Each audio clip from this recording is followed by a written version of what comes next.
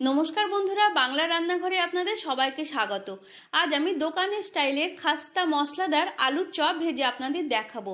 এটা একটা request recipe আমার চ্যানেলে যারা নতুন ভিডিওটি ভালো লাগলে প্লিজ লাইক ও সাবস্ক্রাইব করে বেল আইকনটি প্রেস করে রাখুন, যাতে আমার নিত্য নতুন ভিডিওগুলি সর্বপ্রথম আপনার কাছে পৌঁছে যায়।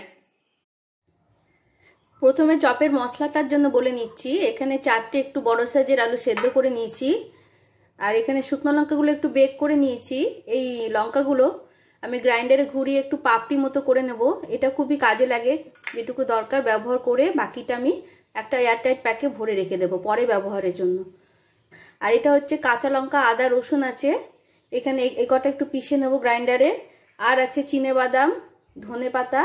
আর এখানে আছে কসুরি মেথি। এটা চপে দিলে চপটা খুব ভালো হয় খেতে। আর এটা গ্রসারি আইটেমের যে কোনো গ্রসারি আইটেমের দোকানে বা মুদিখানার দোকানে পেয়ে যাবেন। দামও বেশি নয়। এই বাইশ থেকে পঁচিশ টাকার মধ্যে দাম অনেকটা থাকে। আর এটা ফ্রিজে প্রিজার্ভ করে অনেক দিন ইউজ করা যায়। খুবই কাজের এটা। অনেক কিছুতে ইউজ করা যায়। আর এখানে আছে এটা চাট মশলা। আমি এখানে চাট মশলা ব্যবহার করেছি। আপনারা যদি আমচুর পাউডার ঘরে থাকে সেটা ব্যবহার করতে পারেন বা এই দুটোর কোনোটাই যদি না থাকে, কাঁচা আম সরু সরু করে কেটে দিতে পারেন কিংবা এরকম এই যে এটা পিসবো, এটার সঙ্গে অল্প একটু দিয়ে নিতে পারেন। তাহলে চপটা খুব চটপটা টেস্ট হবে।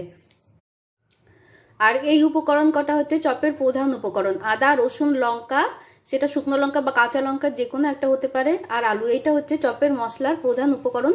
এগুলো যদি ঘরে নাও থাকে, শুধু এই কটা জিনিস দিয়েও চপের মশলাটা কিন্তু তৈরি করে নেওয়া যায়।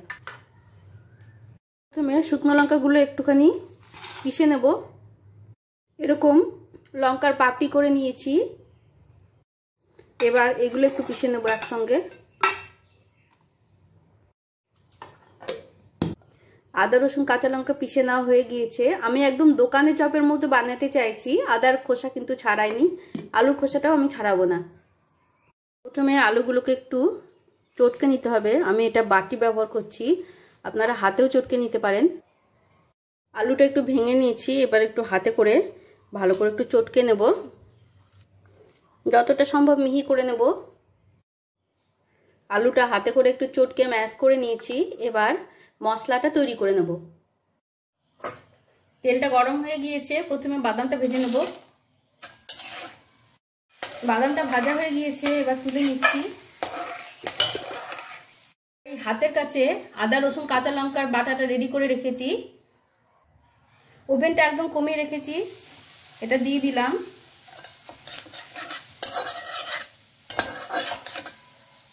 একটু নাড়াচাড়া করে নিয়েই এটা দিয়ে দিচ্ছি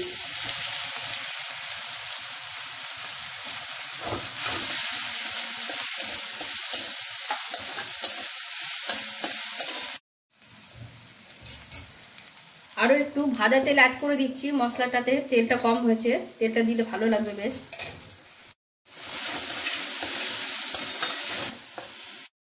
অল্প হলুদ দিলাম, হলুদটা অপশনাল ওভেনটা একদম কমানো আছে। ধনে পাতাটা দিয়ে দিলাম। এবার একটু লবণ দিয়ে দিচ্ছি, এক চা চামচ দিলাম। আরও হাফ চা চামচ লবণ দিলাম। কস্তরি মেথি দিচ্ছি।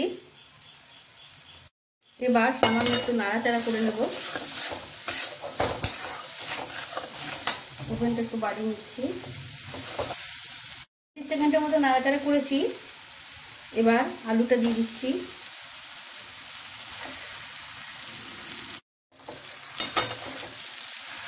এবার ওভেনটা বাড়িয়ে দিয়ে এটা মেশাবো। এটাকে খুব ভালো করে নাড়াচাড়া করে এর মধ্যে মিশিয়ে নিতে হবে।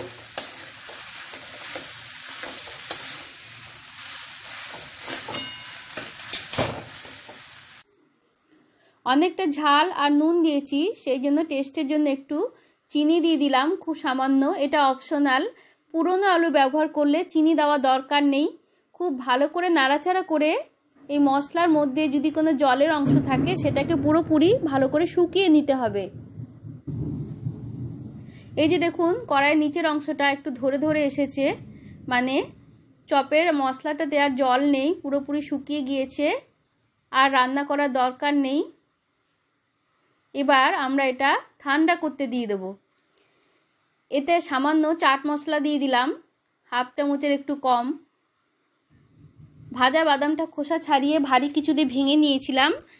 এটা দিয়ে দিচ্ছি, ভালো করে মিশিয়ে নিচ্ছি এবার। খুব ভালো করে মিশিয়ে নিয়ে একটা জায়গায় ঠান্ডা করতে দিয়ে দিয়েছি। এবারে ব্যাটারের উপকরণগুলি বলে দেবো। ব্যাটারের জন্য লাগবে বেসন। চালের গুঁড়ো। আর এখানে আছে বেকিং সোডা। পোস্ত আর কালো জিরে নিচে অল্প করে, এটা অপশনাল। বেকিং পাউডার আর সাদা তেল লাগবে। এবার এরকম একটা নর্মাল কাপের দেড় কাপ বেসন নিয়েছি। এবার কিছুটা চালের গুঁড়ো দিয়ে দেব। চালের গুঁড়ো দিয়ে দিলাম। আরও একটু বেসন নিয়ে নেব। বেশ কয়েকটা চপ ভাজবো। এই দুই কাপের একটু কম বেসন দিলাম, আরও একটু চালের গুঁড়ো অ্যাড করে দিচ্ছি। আর একটু চালের গুঁড়ো দিলাম। এবার পোস্ত আর কালো জিরেটা দিয়ে দিলাম, এটা অপশনাল হাফ চা চামচ লবণ দিলাম, হাফ চা চামচ চিনি দিলাম টেস্টের জন্য, হাফ চা চামচ বেকিং সোডা দিলাম, হাফ চা চামচ বেকিং পাউডার দিলাম এবার এগুলো একটু শুকনো শুকনো মিশিয়ে নিচ্ছি। মেশানো হয়ে গিয়েছে। এবার একটু তেল দিয়ে দেব। এই চামচের চার চামচ তেল দিয়ে দিলাম। এবার এটা নাড়াচাড়া করে ভালো করে মিশিয়ে নিচ্ছি। শুকনো শুকনো মিশিয়ে নেওয়া হয়ে গিয়েছে। এবার অল্প অল্প করে জল মেশাচ্ছি। খেয়াল রাখতে হবে যাতে জলটা বেশি করে পড়ে না যায়।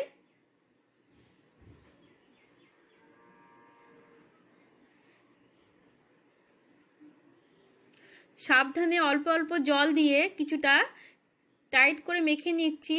এতে কি হবে? ডেলাগুলি থাকলে ভেঙে যাবে। এবার পরিমাণ মতো জল মিশিয়ে প্রয়োজন মতো পাতলা করে নিতে হবে এটাকে।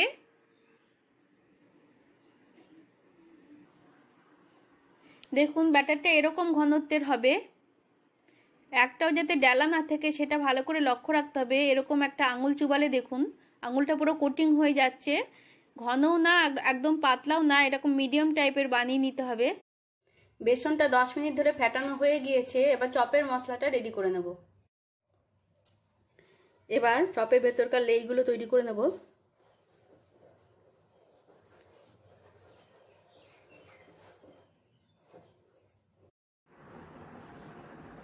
এবার লেইটাকে বেসনে ভালো করে কোটিং করে নিতে হবে। ভালো করে কোটিং করা হয়ে গিয়েছে, এবার প্রেস করে লেইটা তৈরি করে নেব।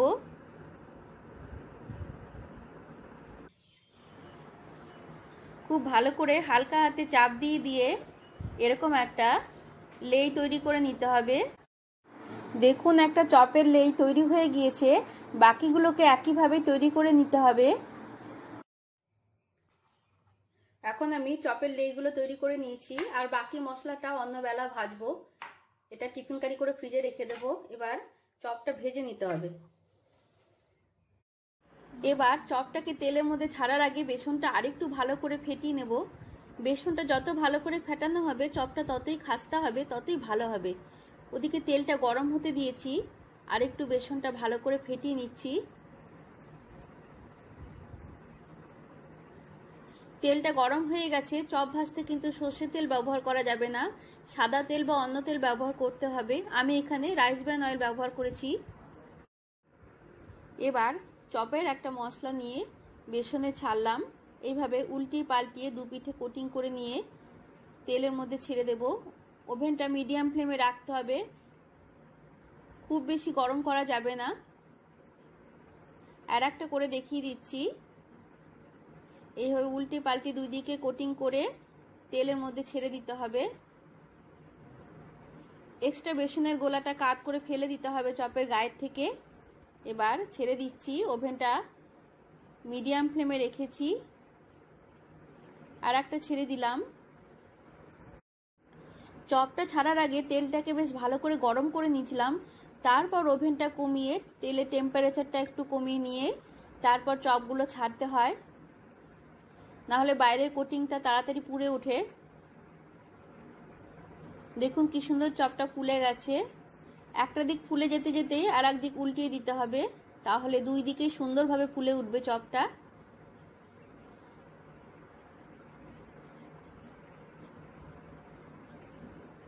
হিটটা মিডিয়ামে রেখে ধীরে ধীরে চপগুলো ভেজে নিতে হবে।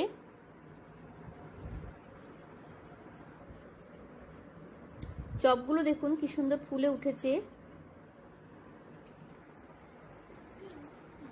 ভালো করে উল্টে পাল্টে লালচে করে ভেজে চপগুলো তুলে দিতে হবে। চপটা ভাজা হয়ে গিয়েছে, এবার তুলে নিলাম। একইভাবে সব চপগুলো তুলে নিতে হবে। আর ভাজতে ভাজতে মাঝে মাঝে বেসনের গোলাটা একটু পুরো হয়ে যেতে থাকে, বেসনটা ফুলতে থাকে, তখন প্রয়োজন মতো এক, দুই চামচ করে জল বেসনের গোলাটা একটু করে মিশিয়ে নিতে হবে। না হলে বেসনটা কিন্তু বেশি মোটা হয়ে যাবে। এবার তুলে নিচ্ছি। সব চপগুলো তুলে নিলাম। বাকিগুলো একইভাবে ভেজে নেব। দোকানের স্টাইলের খাস্তা মশলাদার চপ রেডি আপনারাও ট্রাই করুন। কোনো প্রশ্ন থাকলে কমেন্টে জানান। সকলে সুস্থ থাকুন, ভালো থাকুন। আবার ফিরে আসব অন্য রেসিপি নিয়ে আপনাদের সামনে।